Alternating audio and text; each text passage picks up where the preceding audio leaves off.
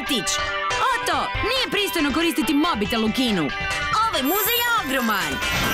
Kockić i prijatelji Kockić i prijatelji. Od ponedjeljka u 17.50 na Kockici.